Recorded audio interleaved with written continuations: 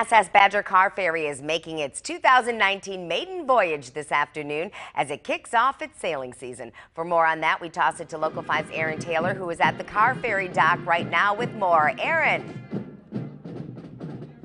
Yeah, Shelly, there are a lot of people waiting out here for the SS Badger. There's even a marching band. You can probably hear that. I hope you can hear me. So there's a lot of people waiting out here. This is the maiden voyage of the year. They're coming from Ludington, Michigan, all the way here You can just barely see out on the horizon the Badger arriving. You can see that smoke trail from that coal-burning ship. Now, this is the maiden voyage of the ship for the season, and there is a brand new dock that it's going to land on here today. Now, that dock was, of course, damaged in the April 2018 uh, snowstorm.